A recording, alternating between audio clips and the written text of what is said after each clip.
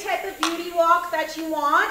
Um, and any type of turns that you want. You can do a Miss America turn, you can do a pivot turn, half turn, whatever you've been coached on.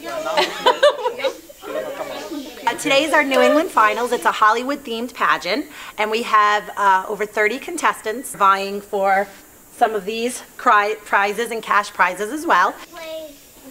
They competed in January at a preliminary pageant, which is a it was a Rhode Island Open pageant. So we have contestants here today from Vermont, New York, New Hampshire, all of New England.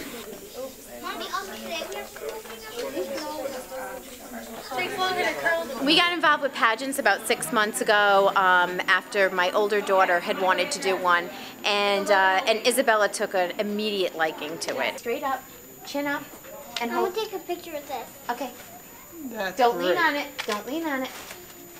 She likes to perform, act, and dance, and so this gives her an outlet to do that.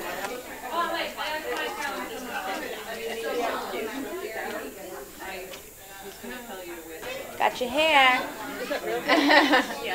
This is going to go up for each routine that she does. She has a props. Natural and glitz. The rules are very simple. Um, natural, you can wear lip gloss and you can wear eye mascara. Uh, you can't wear any other type of makeup for beauty. Optionals are anything goes. So if you're in beauty, if you're natural in beauty, you can put makeup on if you want today for optional. Okay, so if you're not here in time for your group for interview, we're not going to wait for you because we have to stay on schedule. Step, Okay. step, three, step, two. And they're going to be competing in talent, modeling, Step, snap, pro-am, Hollywood wear, beauty, snap, interview. pivot.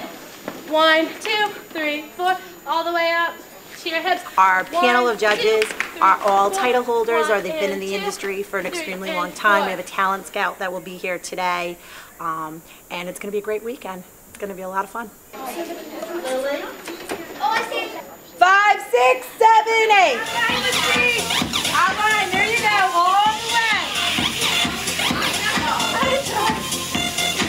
Feel that beauty pageants give her a platform to do other things. We've used some of her ti- titles to visit sick children at the hospital. We've been to the nursing home. So I'm trying to teach her that it's a platform to do other things. The end result isn't the crown. There's a lot of things that go along with that.